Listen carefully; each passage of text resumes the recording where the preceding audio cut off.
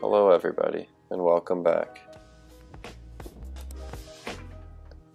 Today we're talking about drug discovery. Nope, not quite those kinds of drugs. When we say drug discovery, we mean the process of finding and developing drugs to target specific processes in the body. Today, we will be focusing on the drug gabapentin.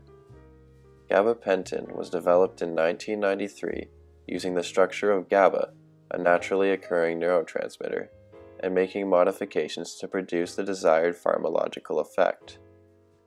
Gabapentin was developed as an anticonvulsant, which means it's used to treat seizures. It inhibits the uncontrollable firing of neurons, relieving the seizure symptoms.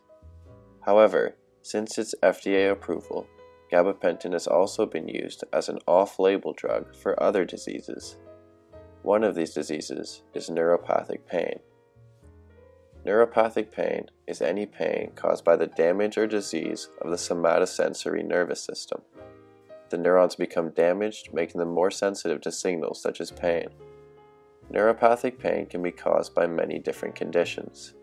These include postherpetic neuralgia, caused by shingles, diabetic neuropathy, caused by diabetes, and cancer related neuropathy, caused by side effects from chemotherapeutic drugs. Recently, gabapentin was actually approved by the FDA in the treatment of postherpetic neuralgia, but still remains off label for all other forms of neuropathic pain. Gabapentin targets neuropathic pain by overall decreasing the firing of neurons. That's right, neuron, you're not fired today. In fact, you're on fire. Good job.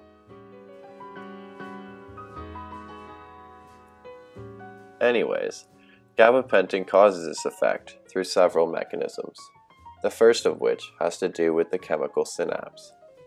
In a normal synapse, calcium enters the presynaptic cell through voltage-sensitive calcium channels. The entrance of calcium allows vesicles in the cell to bind with the cell membrane, releasing neurotransmitters into the cleft.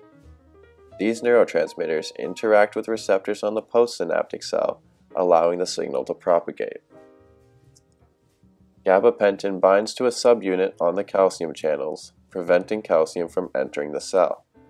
When this action is inhibited, vesicles are unable to bind to the membrane, preventing propagation of the signal. Sorry, dude. The second mechanism of gabapentin involves activating the adenosine A1 receptors on the postsynaptic cell. This activation causes several changes, eventually resulting in an effect on the ion channels.